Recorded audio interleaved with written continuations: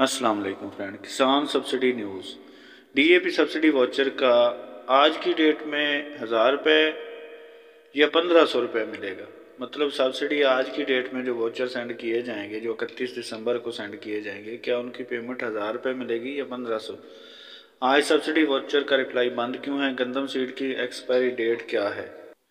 DAP subsidy watcher का जो rate है, जो इसकी पेमेंट आनी थी वो पंद्रह अक्टूबर से इकतीस दिसंबर तक पंद्रह सौ रुपये थी। लेकिन आज की डेट में जो वोचर सेंड किए जा रहे हैं, मैंने हेल्पलाइन पे कंफर्म किया है तो वो बताते हैं कि हज़ार रुपये के हिसाब से पेमेंट आएगी।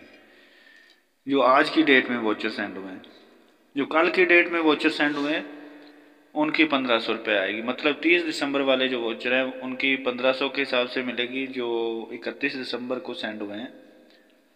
उनकी हज़ार रुपये के हिसाब से सब्सिडी मिलेगी हेल्पलाइन का नंबर है ज़ीरो इक्कीस एक सौ ग्यारह दो सौ सैंतालीस चार सौ पच्चीस और दूसरी हेल्पलाइन है ज़ीरो ज़ीरो आठ सौ सत्रह हज़ार वाली इस पे आप कॉल करके कंफर्म कर सकते हैं और अभी अभी तकरीबन शाम दो तीन बजे के बाद रिप्लाई ऑफ़ हो गए सब्सिडी वाचर का रिप्लाई नहीं आ रहा सब्सिडी वाचर का रिप्लाई उस वक्त बंद किया जाता है जब कुछ सिस्टम की अपडेट, अपडेटिंग वगैरह की जाती है।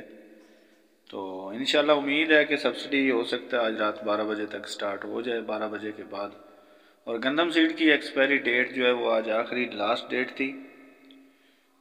तो अगर आप वॉचर सेंड करना भी चाहते हैं तो वॉचर सेंड करके आप हेल्पलाइन पर कॉल करके कंफर्म कर सकते हैं कि आपके वॉचर वेरीफाइड हुए हैं या नहीं।